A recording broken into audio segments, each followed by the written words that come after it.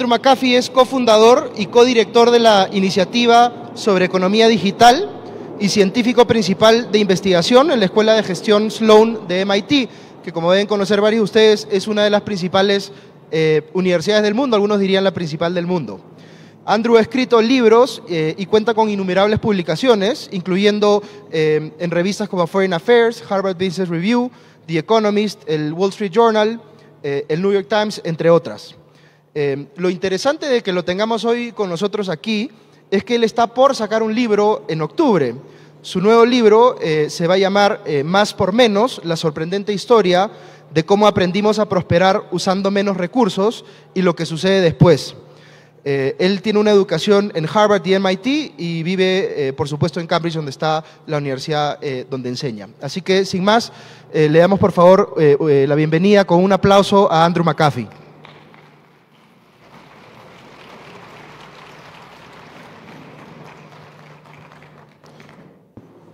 Augusto, thank you very much for that introduction. I think. I want to talk today hablar el día de hoy sobre nuestra capacidad de resolver los problemas que enfrentamos porque tenemos aproximadamente 200 años ya de experiencia con estar al tanto de los diferentes problemas que enfrentamos como sociedad y la manera de resolverlos también. Cuando estudiamos estos problemas y sus soluciones, creo que aprendemos algunas cosas interesantes. Vamos a empezar con el primer problema que alguien ha identificado hace más de 200 años y dijo, el problema es, no podemos alimentar a todo el mundo. En otras palabras, la mayor parte de la humanidad está simplemente condenada a morirse de hambre. Y esta es uh, una idea muy triste muy poco feliz, que está asociada a ese hombre, que es Thomas Malthus. Y en inglés utilizamos el adjetivo Malthusium para hablar de esta noción de que no se puede alimentar a todos y que la mayor parte del mundo se va a morir de hambre. En el 1700 dijo, nosotros humanos, nuestra población, vamos a aumentar en este ritmo, 1, 2, 4, 8, 16. Sin embargo, nuestra capacidad de alimentar a todos, de poder eh, cultivar suficientes alimentos es 1, 2, 3, 4, 5. No tienes que ser un genio en matemáticas para entender el problema aquí, de que nuestra población va a crecer y nuestra capacidad no va a crecer al mismo ritmo. Por lo tanto, algunos van a morirse de hambre. Sabemos, más de 200 años después, que esto no es correcto. Pero lo loco de esto, y hemos aprendido esto debido a una investigación reciente, es que la locura de todo esto es que cuando vemos hacia el pasado, Malthus tenía la razón. Él tenía la razón. Entonces quiero tratar de mostrarles lo cierto que estaba él en el pasado y lo que quiero hacer es mostrar una imagen de qué es lo que sucedió en Inglaterra entre el 1200 y el 1800. En esta imagen, en este gráfico, vamos a colocar a la población de Inglaterra en el eje horizontal en la parte inferior y vamos a poner cuán bien alimentados o afluentes estaban en el eje vertical. Y luego les quiero mostrar eh, siglo a siglo qué es lo que sucedió en Inglaterra. Aquí tenemos lo que sucedió en 1200. Acá 1300. Los años 1300 no se ven tampoco tanto mejor. Acá los 1400. 1500, 1600 y finalmente las cosas mejoran un poco más cuando llega a 1700. Pero miren estos cientos y cientos de años. El único momento en que las personas en Inglaterra fueron ricos fue cuando no habían muchos, cuando la población aumentó demasiado, ya todos volvieron a un estado de mayor pobreza y eventualmente se pudo alimentar a todos. Y como les digo, en el 1700 mejoró un poco la situación, pero miren, en 1700 en sí, a lo largo de todo este siglo, el promedio en Inglaterra le fue peor de lo que le fue en 1200. Estamos hablando de cientos y cientos de años sin ningún tipo de progreso y un poco de miseria, pensando que estábamos yendo bien, a una situación en donde ya había demasiada gente y ya no iba demasiado bien la situación y fue un problema muy serio durante cientos de años. Y luego algo sucedió. Y la versión más corta de lo que sucedió empieza con este caballero. Esta es una persona que se llamaba James Watt. Seguramente muchos han escuchado porque él perfeccionó, mejoró el motor a vapor lo suficiente como para empezar a poder utilizar energía a vapor. Y se pudo aprovechar todos los eh, combustibles fósiles que tenemos en la Tierra, extraer su energía y utilizarla para diferentes cosas. Para mostrar lo importante que esto es, quiero seguir mostrándoles en el mismo gráfico para Inglaterra para la población versus la prosperidad, lo que sucedió y le quiero agregar al 1800 y los 1900. Pero para hacer esto, debo redibujar este gráfico. Si conocen esto, los ejes se han agrandado en todos los siglos anteriores. Si los trazáramos ahora, todos los uh, siglos anteriores entrarían aquí. Se, se necesitaría un espacio muy cortito, porque esto es lo que pasó en 1800. Y esto es lo que pasó en 1900. Todo cambió y el pedazo chiquitito es lo que pasó antes. Y luego este, este intercambio entre la población y la prosperidad o este balance más bien desaparece. Y lo que se ve en Inglaterra, en otros países, es que la población aumenta como nunca antes, pero al mismo tiempo la prosperidad también lo hace como nunca antes. Eso es un fenómeno en todo el mundo. Si este fuera el problema que nos preocupa realmente y nos ocupa, la solución sería muy directa. La solución fue la revolución industrial, que conllevó 200 años y que tocó que tomó 200 años donde hubo aumento de la población y a la vez la prosperidad humana también aumentó y eso es fantástico. Pero en el siglo XX nos dimos cuenta de que había una un, resultado de la era industrial con un problema, que era que no podíamos seguir haciendo esto. Teníamos que depletar la tierra de estos recursos para poder hacerlo.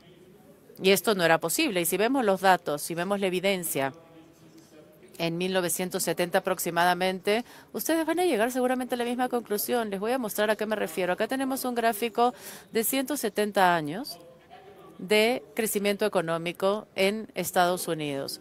Y la única razón por la que hablo de Estados Unidos e Inglaterra es porque tenemos la mejor evidencia, los datos más concretos sobre lo que ha sucedido cientos y cientos de años. Acá tenemos 170 años de crecimiento económico en Estados Unidos y esto es maravilloso, pero acá tenemos el problema. Este es el consumo de energía que se utilizó 170 años en Estados Unidos y se observa esta relación que está simplemente igual, es uno a uno, es casi perfecta. Y lo que vimos durante 170 años más bien es que la única manera en que poder hacer crecer nuestra economía era utilizando más energía cada año, cada año más carbón, más gas, más petróleo, cada vez más uso de estos recursos año tras año. Lo mismo se aplica a otros tipos de recursos. Acá tenemos la economía de Estados Unidos del siglo XX, de 1900 a 1970, y nuevamente esta línea negra es el tamaño de toda la economía. Estamos viendo un crecimiento económico. Todas las líneas grises son recursos importantes para una economía. Metales, por ejemplo, fertilizantes que nos ayudan a cultivar los alimentos y finalmente hemos visto lo mismo, la relación que existe entre hacer crecer la economía y utilizar más recursos para hacerlo que fue una relación muy cercana. De hecho, si vemos los años que nos llevan hasta el 70, hemos utilizado recursos incluso más rápidamente de lo que estábamos avanzando en términos económicos. En 1970 la gente del mundo empezó a decir, esto es un problema muy serio. No podemos seguir haciendo esto, no podemos seguir creciendo de esta manera. Probablemente ustedes han ido a la celebración del Día de la Tierra. Esto se ha dado en el año 1970 por primera vez. Y alrededor de esta celebración de 1970, un grupo de personas escribió libros diciendo esencialmente que no se puede seguir haciendo eso y hubo temas de población, de uso de recursos, del hecho de que nos íbamos a quedar sin lo importante y como resultado de esto iban a suceder cosas muy poco placenteras. Y se pueden encontrar estas citas de autores famosos diciendo, si seguimos haciendo esto, esto es lo que va a suceder. Vamos a quedarnos sin recursos, vamos a agotar nuestro planeta. Y no se trata solamente de un deterioro, estamos hablando de una extinción, de que la Tierra ya no sea un lugar habitable. Tenemos que parar lo que estamos haciendo. Mi resumen favorito viene de este libro que fue escrito en 1975 y el autor dice, no podemos seguir haciendo esto. Y para él esto significaba crecer nuestra economía año tras año, en otras palabras, aumentar la prosperidad y usar más recursos de la tierra. Dijo, la única solución, lo único que podemos hacer para mejorar la situación es, en lugar de crecer de esta manera, tenemos que hacer, tomar una decisión obligada de hacerlo de esta manera. No, no solamente ralentizar, sino invertir nuestro crecimiento económico. Lo que estaba diciendo esencialmente aquí es que tenemos que, de manera voluntaria, entrar en una recesión profunda y constante, parar de crecer e involucrarnos en un fenómeno muy doloroso que se llama descrecimiento. Ahora, quiero seguir llamando la atención con respecto a la economía de Estados Unidos y por una razón aquí. Aquí hemos parado en 1970, la última vez. Vamos a seguir retrasando esta línea porque quiero dejar algo muy en claro aquí. No nos involucramos en este fenómeno del decrecimiento. Esto es lo que hizo la economía desde 1970. Seguir creciendo de manera muy sutil. Hubo una recesión que fue muy desagradable, pero continuamos creciendo y esta otra línea que tenemos acá tiene que ver con la producción industrial no paramos la producción, hicimos más cosas más bien año tras año y nuestro crecimiento económico después de 1970 se vio muy similar al crecimiento antes de 1970. Entonces miran esto y dicen, bueno, tenemos un problema muy serio acá, nos vamos a quedar sin estos recursos importantes. Les voy a mostrar lo que sucedió en la realidad. Acá tenemos el gráfico nuevamente para en 1970 todo el consumo en Estados Unidos de los metales más importantes para una economía. Aluminio, níquel, cobre, acero, oro, metales muy importantes y hasta el 1970 vemos un crecimiento muy rápido y esto es cómo se ha comportado desde 1970. El patrón ha cambiado y si ustedes pueden ver en años recientes lo que ha sucedido, sí hemos decrecido en el uso de estos metales. Y esta imagen se vuelve más sorprendente cuando agrego esta línea negra del tamaño total de la economía a este gráfico. Y así es como se ve. Hasta 1970 estuvimos creciendo en la economía y también en el uso de recursos. En ese año, algo interesante ha sucedido, algo que no habíamos anticipado y que jamás habíamos visto anteriormente. Seguimos aumentando el crecimiento económico con menor uso de recursos. Pudimos hacer un o tener un crecimiento y desensamblarnos de esta relación que existía entre la prosperidad y el crecimiento. Ahora quiero mostrarles que esto se está dando en diferentes partes de la economía y no solamente estamos hablando de metales. Cuando se elige una industria, por ejemplo la agricultura, también tenemos gráficos similares. Acá tenemos la línea negra, que es el tonelaje total, el peso de eh, la producción agrícola durante muchos años en el siglo XX. Estas líneas grises, más bien, son los inputs, los, las materias que se utilizan, fertilizante, agua y tierra.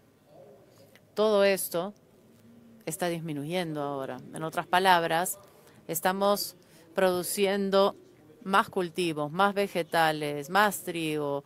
De cada acre, de cada litro de agua, de cada kilogramo de fertilizante, nuevamente hemos logrado separar esto de eh, esta ecuación. He empezado mostrándoles un gráfico sobre la energía o el uso de la energía. Les voy a mostrar este gráfico nuevamente y vamos a ver qué es lo que ha sucedido desde 1970 a la relación que existe entre el crecimiento económico y el uso de la energía. Y acá hemos notado que la relación está completamente diferente. Esencialmente hemos escindido, hemos separado el crecimiento económico del uso de cada vez más energía año tras año. En 2018 hemos utilizado casi la misma cantidad de energía total que usamos 11 años antes en el 2007 creo que lo que va a suceder en el futuro es que el uso de la energía va a empezar a verse como el patrón que vimos con los metales, que va a empezar a disminuir más bien.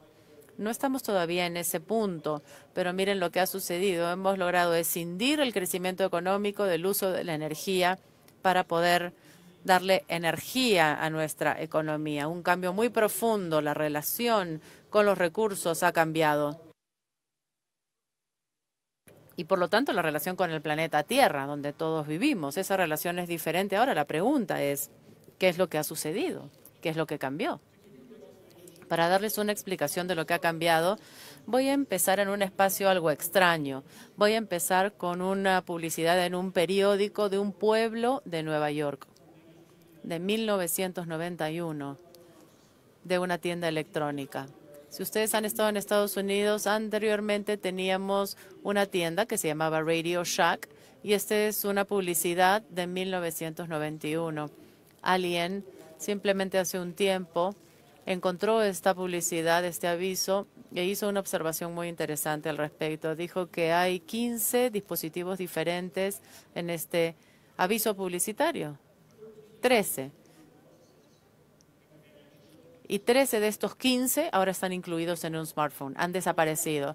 Ya no tenemos máquinas contestadoras, no tenemos cámaras filmadoras, ya no tenemos una línea fija, no tenemos un teléfono fijo con cable. Ya no uso estos dispositivos, yo ya no se usan. Yo no utilizo otra, otro tipo de fotografía, mapas impresos para ir de un lugar a otro. Todos estos recursos, todos estos materiales han desaparecido y se han aglomerado o conglomerado en un aparato pequeñito como un smartphone. Si comparamos esto, vamos a empezar a entender qué es lo que ha estado sucediendo. Estamos utilizando herramientas digitales en toda la economía, herramientas digitales para sustituir esto de los materiales, de los productos, de los artículos, de los recursos. Esto lo vemos en todas partes. Los autos, los motores que están en los autos son más ligeros, son 40% más livianos de lo que han sido hace algunas generaciones y son más poderosos y además son más eficientes en el consumo de combustible. Les va mejor en todos estos aspectos que los motores del pasado. La razón principal por la cual logramos esto es que tenemos un software extraordinario, herramientas extraordinariamente poderosas para dejar que los innovadores, los ingenieros diseñen mejores motores con menos material y con menos gas. Yo estuve trabajando en un libro y he estado hablando de esto con un amigo que ha tenido una carrera muy extensa. Y estaba tratando de darle ejemplos de este fenómeno de eliminar los artículos y utilizar esto. Es un fenómeno que por lo general se conoce como desmaterialización. Y mi amigo me dijo que, ah, sí, esto me recuerda cuando yo empecé mi carrera, y él ha tenido una carrera muy extensa, empecé mi carrera en 1968 trabajando para una empresa ferrocarriles. Y dijo, mi trabajo fue ayudar a la empresa para tratar de ver dónde estaban sus vagones, las cajas. Y, en 1968 estabas operando un ferrocarril, no tenías idea dónde estaban estas, estos vagones de 32 millones de toneladas estaban. la regla con la que vivíamos en ese entonces es que solamente 5% de nuestros vagones se movían en un día determinado, porque no sabíamos dónde estaba el otro 95%, simplemente estaban por ahí, en algún lugar en los ferrocarriles de Estados Unidos. Dijo, piensa en esto, 5% de estos vagones se mueven todo el día y si mi equipo pudiera aumentar ese 5%, solamente un 10%, solamente necesitaríamos la mitad de vagones en total. Ahorraríamos mucho material. Entonces, en 1968, esta empresa de ferrocarriles empezó a trabajar en este problema e hicieron cosas muy interesantes, pero a lo largo de los años empezaron a utilizar los tanques de RFID, transmisión, eh, rastreo por computación, aprovecharon las herramientas tecnológicas para ver dónde estaba su inventario. Y actualmente, en cualquier ferrocarril del mundo, les garantizo que saben exactamente dónde está todo su inventario. Como resultado de esto, ya no necesitamos tantos tantas piezas de acero de 32 toneladas. Si todo esto se suma, los esfuerzos, las mejoras, para ser más eficientes, para ahorrar dinero, para sustituir una cosa por la otra, todo esto empieza a cambiar la situación de manera general. Este es el problema que nos preocupaba, que nos íbamos a quedar sin recursos. Yo no creo que ya nos tengamos que preocupar por esto. Y la razón es que la solución es que ahora combinamos dos fuerzas increíblemente poderosas. La primera es la competencia. Si tu competencia encuentra una manera de ahorrar dinero, tú tienes que encontrar una manera de ahorrar dinero también este deseo, este deseo de competir para ahorrar dinero, lo combinas con la revolución de la computación, con estas herramientas digitales maravillosas que tenemos y de pronto podemos construir una economía que crezca y que utilice menos recursos año tras año. En otras palabras, como digo en mi libro, en el título del libro, finalmente ya hemos encontrado la manera de construir una economía que nos dé más con menos. Esto es fantástico. Ahora, el tercer problema que encontramos es un problema ligeramente diferente y dice, estamos haciendo todas estas cosas, la prosperidad está aumentando, pero, pero hay algunos efectos secundarios muy malos de este crecimiento. Hay contaminación y el hecho de que cuando creamos criaturas parte de este proceso industrial, algunas veces nos hace eliminarlos y se convierten en especies extintas. Y así se ve la contaminación en Estados Unidos en los años que llevaron a la primera fecha de 1970. Nuestros aire, nuestros cielos, nuestro aire, especialmente en las ciudades, está cada vez más contaminado. Y obviamente hay efectos en la salud que son terribles, una tendencia terrible sobre los efectos de la contaminación en la salud humana. Esta ave en Estados Unidos se extinguió. Se llama Passenger Pigeon. Es una paloma pasajera. Y hubo parvadas de estos, animales que eran tan grandes que tomara tres días para que la completa parvada volara a través de un lugar. En 1940, este fue el único animal de su especie. Murió en un zoológico en Cincinnati, en Ohio. Simplemente lo llevamos a la extinción. Y esto sucedió con muchos otros animales y especies. Este es el animal más grande que ha vivido en la Tierra. Es la ballena azul. La cazamos para hacer lubricantes y para poder crear explosivos. ¿No hay otra manera de hacer estos productos o, es porque este animal es tan grande que simplemente es costo eficiente cazarlo en los océanos? Voy a tratar de mostrarles lo cerca que estamos a llegar a la extinción de la ballena azul. Acá tenemos la cantidad de ballenas azules que se encontraban en el océano del sur, en el planeta Tierra, en 1900. Esto representa, esto representa cuántas ballenas azules habían en 1972.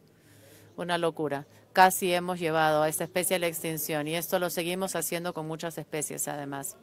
Finalmente, nuevamente, cuando empezamos con el día de la celebración del Día de la Tierra, dijimos, basta, eso ya no lo podemos hacer. Entonces, empezamos a aplicar leyes muy simpáticas para que los cielos estuvieran más limpios, para que el agua fuera más limpia y decir que hay animales que simplemente no se pueden utilizar. Hay animales que ya no pueden ser parte del proceso de producción.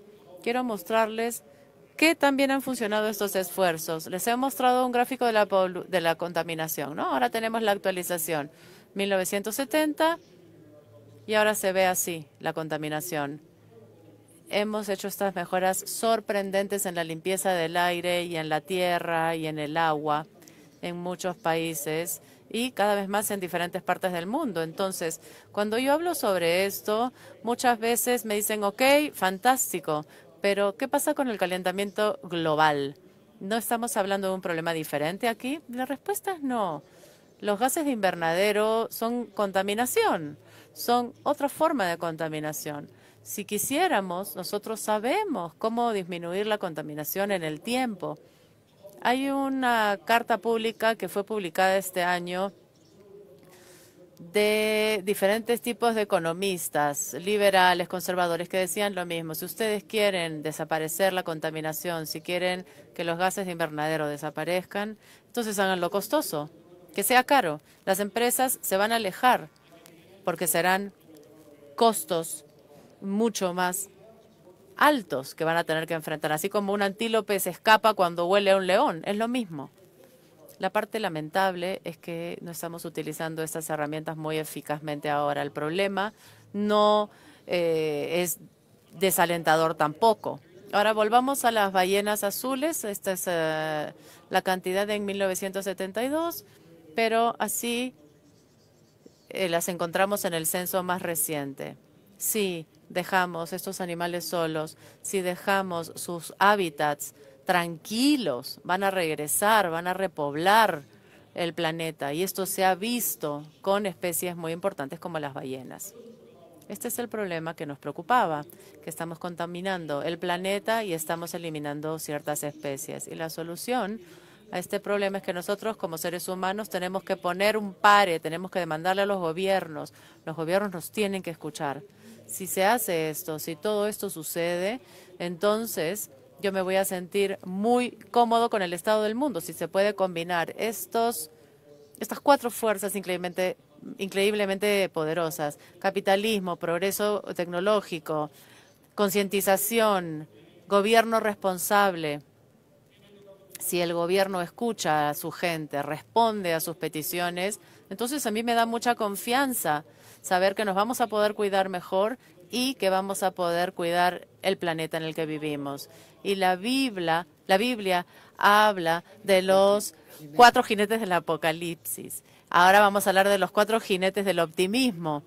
Eh, estos son, y tengo mucha confianza en que esto solucionará el problema de nuestro planeta y va a mejorar nuestra condición humana y la capacidad que tenemos. Quiero terminar dándoles algunas noticias muy buenas. Quiero mostrarles evidencia sobre qué tan bien ha estado funcionando esto en los últimos años. Cuando leo el periódico, la mayor parte de las cosas que escucho sobre el medio ambiente, sobre el planeta Tierra, sobre la humanidad, sobre la trayectoria en la que estamos, en este camino de la vida, todo es negativo. Y pienso que esto es un problema y en muchos casos creo que está equivocado y les voy a mostrar a qué me refiero. Acá tenemos buenas noticias. Tenemos una imagen de la población total del planeta Tierra versus cuántas de estas personas viven en pobreza extrema. Este es un gráfico maravilloso. Eh, son muy buenas noticias. Nuestra población está aumentando rápidamente y al mismo tiempo la cantidad de, no el porcentaje, la cantidad total de personas que viven en extrema pobreza está cayendo mucho más rápido de lo que se ha visto antes o anteriormente. Muy pocas personas en el planeta Tierra hoy que viven en pobreza extrema de lo que existía en 1820. Estamos en nuestro camino hacia la erradicación de los diferentes tipos de pobreza que existen en el mundo. Si les muestran este gráfico, ustedes piensan, bueno, pero esto es solamente la historia de China. No, no solamente es la historia de China, es la historia de todas las regiones del mundo y lo bien que están haciendo en reducir sus pobrezas. No hay región en el mundo en donde la pobreza o pobreza extrema esté aumentando. No hay región en el mundo que no esté avanzando en ese sentido. En todo el planeta estamos aumentando la prosperidad, tenemos cada vez menos gente que vive en condiciones de extrema pobreza. Y esto es lo que está sucediendo. Esto es lo que está sucediendo con nuestra capacidad de alimentar a la humanidad. Y esto es algo importante, la cantidad promedio de calorías disponibles a una persona a lo largo del día ha estado aumentando y de manera pareja. Hace 35 años, la persona promedio en el mundo no tenía acceso a 2.500 calorías al día. Y ese es un número importante. 2.500 calorías es un número importante porque esa es la cantidad de calorías que un adulto hombre necesita si es activo para mantener su peso corporal. Es un buen benchmark. En 1985 la persona promedio en el mundo no tenía acceso a esta cantidad de calorías. Ahora miren, en todas las regiones del mundo, estas calorías están disponibles para la gente. Cada vez hay más niños que van al colegio en todas partes del mundo, en todas las regiones. Cada año aumenta esta cantidad, la gente vive más. Cada región del mundo está aumentando la expectativa de vida, incluso en Sudáfrica, que eh, ha tenido una crisis de SIDA terrorífica y ahora la expectativa de vida está en un nivel mucho más alto incluso en esta parte del mundo. Tenemos buenas noticias y estas noticias no están aisladas o no son simplemente un privilegio de China o de los países más ricos, es una mejora global. Les quiero mostrar una evidencia adicional sobre cómo han mejorado las cosas. Este es uno de los gráficos que a mí me encanta ver. Esto es lo que ha sucedido con respecto a las madres que han fallecido al dar a luz y niños que todavía murieron de pequeños. Se puede ver cada grupo de ingresos y cada país está haciendo un avance muy rápido en esta área. Hemos hablado de las inequidades y hay que hablar de las inequidades y las desigualdades porque esto es un problema y de alguna manera eh, esto está empeorando a medida que avanzamos. Pero de otras eh, formas, la inequidad también está disminuyendo, la desigualdad en la salud, en cuántas madres mueren, en cuántos niños mueren. Este tipo de inequidad está reduciéndose significativamente en el mundo y me parece que esas son excelentes noticias. Una imagen más antes de que Augusto eh, continúe con el debate. Les voy a mostrar, yo les mostré la imagen de la ballena y cómo la ballena finalmente ha regresado, la población de las ballenas azules, este animal maravilloso está aumentando ahora en el mundo y nosotros ahora estamos viendo ya las cosas de una manera en que no se vio antes. Estamos viendo ahora ballenas en la costa de New York City, en Estados Unidos. Yo creo que esto es una noticia maravillosa. Regresemos entonces a la pregunta con la que empezamos. ¿Podemos resolver nosotros como sociedad, como eh, economía, podemos resolver nuestros mayores problemas? ¿Tenemos la capacidad de hacerlo? Miren la evidencia. Absolutamente. Claro que lo podemos hacer. Tenemos la capacidad de manejar cualquier cosa que nos vaya a suceder en los años venideros durante el curso del siglo XXI. Muchísimas gracias.